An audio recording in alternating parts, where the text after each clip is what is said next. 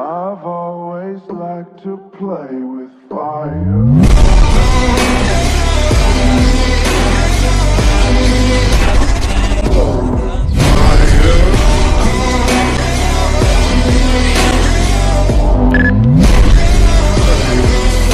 Yeah.